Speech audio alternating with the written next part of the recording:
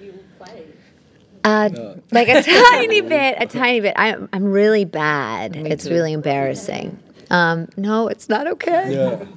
Yeah, I'm really bad. I've only played a few times. It's like I just find it hard to walk, you know?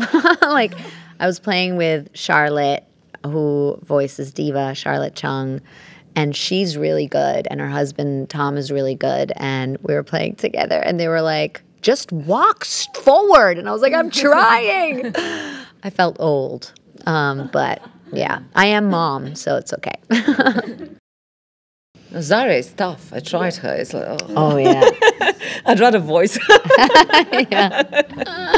Leave the playing to you guys, to the pros. I don't. I'm a RPG guy, so the first person shooter is too fast for me. It's because the- the moment I found the enemy, I'm already dead. You know. So I'm not. Yeah. Yeah, you gotta do that, you know, like um, turn based. Mhm. Yeah. I, I I like that better. So then I gonna. I'm always like try to get best equipments as po- armors and then, you know weapons possible. Yeah. Then the you know the highest level possible to be the boss. So What are that's they how I do, talking yeah. about? I'm kidding. Well. All the details. Yeah. I'm Of killing. I'm kidding. Yeah. I'm joking.